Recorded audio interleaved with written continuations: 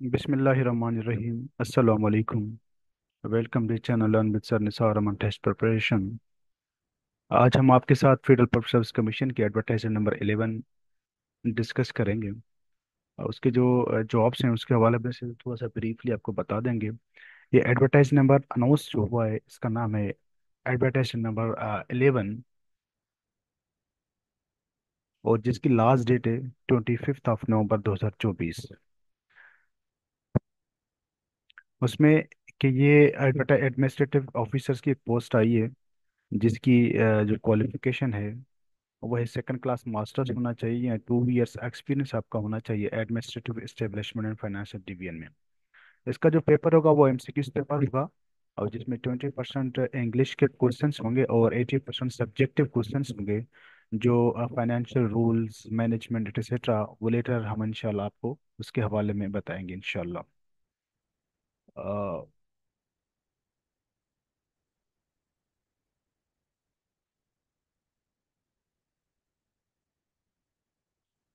इसी तरह उसके अलावा जो सेकंड पोजीशन है उनके पास जो अ, अ, ये सामने आपके पास है secondary school teacher SST male की है बी ए सेवनटीन की ये भी है directorate of federal government education institution के and garrison schools of ministry of defence में है। इसकी वन पोजीशन है और इसकी जो कोटा है वो एक्स फाटा के है और मिनार्टिस की ये सीट है।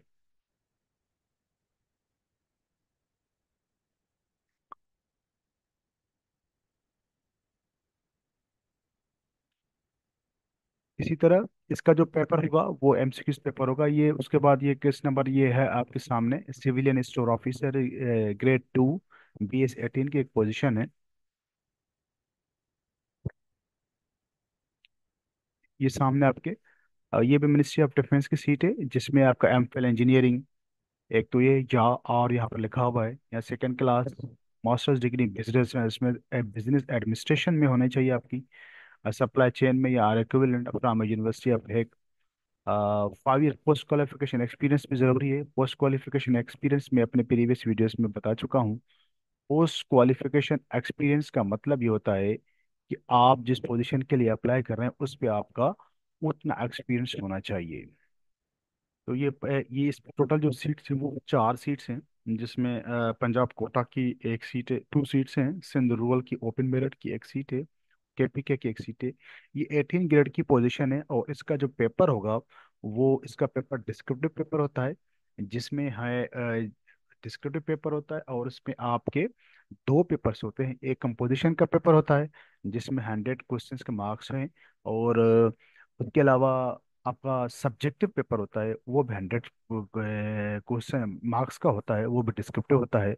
और जो सब्जेक्टिव पेपर होता है उसमें ट्वेंटी फाइव मार्क्स आपके एमसीक्यूज के होते हैं सेवेंटी फाइव आपके अ, उसमें होते हैं क्या नाम है उसके डिस्क्रिप्टिव के। इसी तरह नेक्स्ट पे नेक्स्ट उस पर जाते हैं।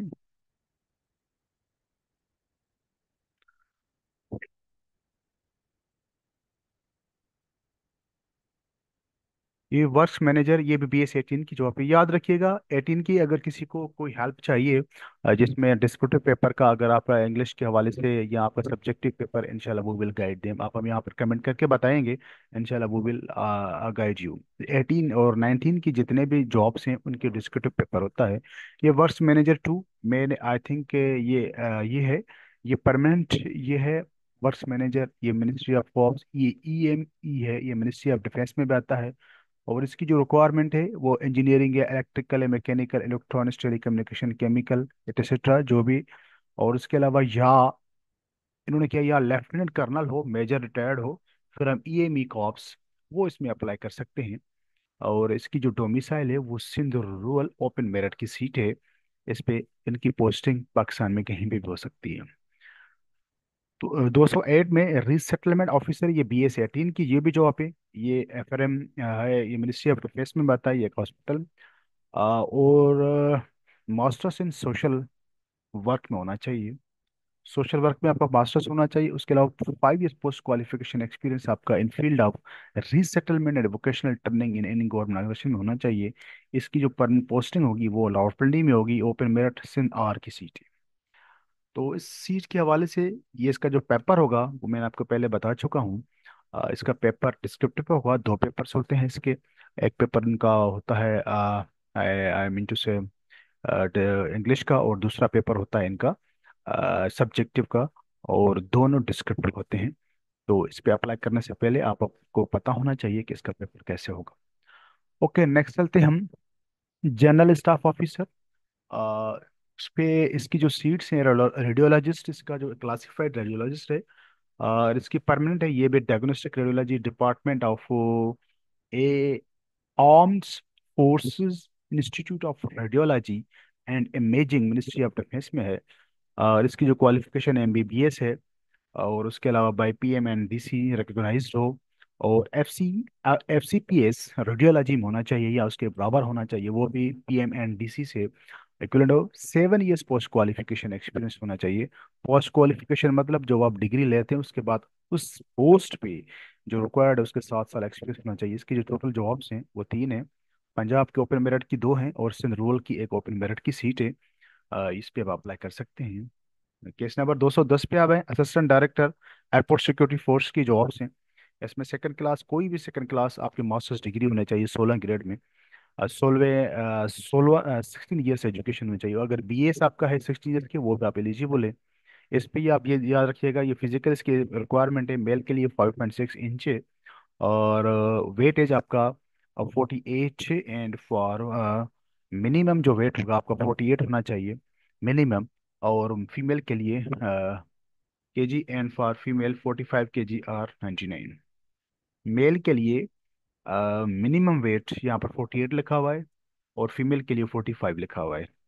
और मेल के लिए जो चेस्ट है एक्सपेंशन जो आपका होना चाहिए वो thirty thirty two three upon four और thirty two upon three upon four होना चाहिए याद रखिएगा। और इसकी टोटल सीट्स वो दो हैं और दोनों ओपन मेरिट पे हैं। टू टोटल सीट्स वो दो हैं टू ओपन मेरिट बराबर ओपन मेरिट पे एक है और वन वन ओपन मेरिट पे और मिनारिटी और नॉन मुस्लिम की एक सीट है। वो अर्बन की यानी वो मिनार्टीज को दी जाएगी एक सीट वो अर्बन पे है। पोस्टिंग पाकिस्तान की किसी भी सिटी में आपकी हो सकती है। ये असिस्टेंट डायरेक्टर एसएफ की आ, सीट थी। अ,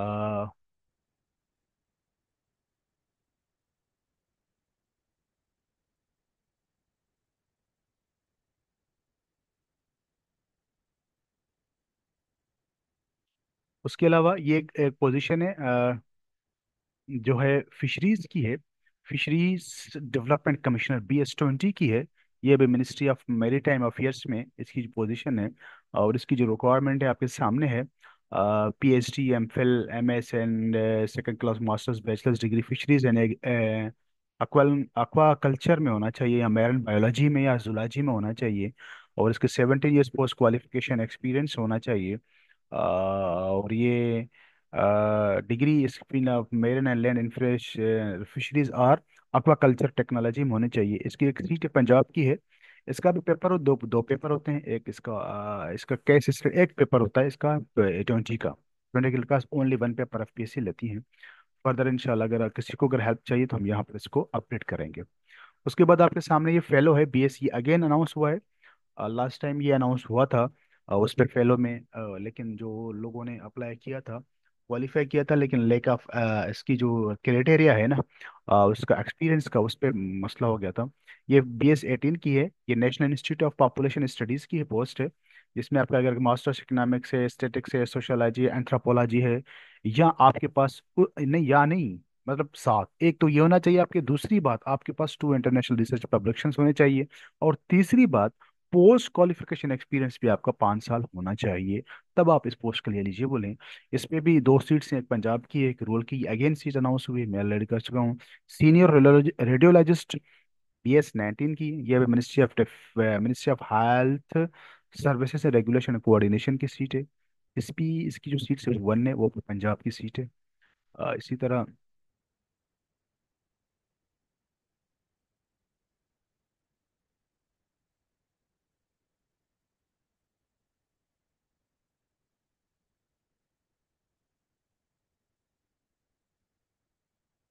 सीनियर रेडियोलॉजिस्ट मैंने बता चुका हूँ आपको ये head of department electronics female की बी एस एटीन की जॉब है। ये government polytechnic institute for women Islamabad ministry of federal education and professional training में। और इसकी जो रिक्वायरमेंट है बैचलर्स डिग्री इलेक्ट्रॉनिक्स या इक्विवेलेंट में होना चाहिए। और उसके अलावा दूसरा जो है ना five years post qualification experience होना चाहिए। उसके अलावा प्रिंसिपल टेक्नीशियन की जॉब्स हैं बी एस सेवनटीन की। अ, ये जो जॉब्स हैं Pakistan Institute of Medical Science PIMS PIMS की जॉब्स हैं।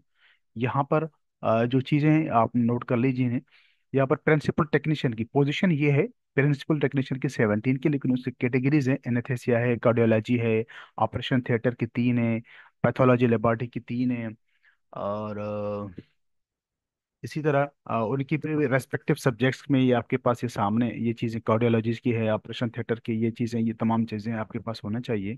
Five years post qualification seven की जॉब पे एमएससी इन रेस्पेक्टिव डिसिप्लिन में आपकी होनी चाहिए और उसके अलावा BSc in respective discipline given below में और उसके अलावा five years post qualification experience जो आपकी ज़रूरी है। और number of vacancies total fifteen है और उस पर मेरिट वन है, पंजाब की आठ हैं, सिंध रूरल की उस पर मेरिट की टू हैं ओपन अर्बन की भी मेरिट ओपन मेरिट की वन है केपीके की भी वन सीट है, बलूचिस्तान की भी एक सीट मौजूद है। पोस्टिंग इनकी इस्लामाबाद में ही रहेगी। ये इम्पोर्टेंट सीट्स जो आपके साथ शेयर कर रहा हूँ। और इसी तरह अगर हम फर्दर चलते हैं तो उसके अलावा assistant agriculture engineer B S seventeen की है। परमानेंट है, ये department conservation department director of agriculture extension services office of the chief commission of ICT है, जिसमें पंजाब की एक सीट है, जिसमें अगर आपके पास एग्रीकल्चर इंजीनियरिंग में कोई एजुकेशन है तो आप अप्लाई कर सकते हैं। ये एडवर्टाइजमेंट थी advertisement eleven last date twenty five है, और इसके हवाले से मैं पहले बता चुका हूँ इसका जो सेवनटीन के लिए जो चार्जेस होते हैं, वो थ्री हंड्रेड होता है एटीन के लिए सेवन फिफ्टी होता है नाइनटीन के लिए बारह सौ रुपये और ट्वेंटी के लिए पंद्रह सौ रुपये के चार्जेस होते हैं। ये आप नेशनल बैंक के किसी भी ब्रांच में जमा कर सकते हैं। इनके एटीन की सेवनटीन की जितने भी पोस्ट हैं, उनका एमसीक्यूज का पेपर होता है एटीन और नाइनटीन का एक इंग्लिश का पेपर दोनों का होता है सब्जेक्ट दोनों के अलग अलग होते हैं। ट्वेंटी का एक पेपर वो सेपरेट होता है कैसे स्टडी जिसमें हो जाता है। तो ये है अगर किसी को कोई क्वेश्चन है कोई सवाल है किसी प्रिपरेशन के हवाले से वो हमें कमेंट में कर सक कमेंट कर सकते हैं आप इनशाला वो विल रेस्पॉन्स यू अकॉर्डिंगली इनशाला thank you stay safe stay bless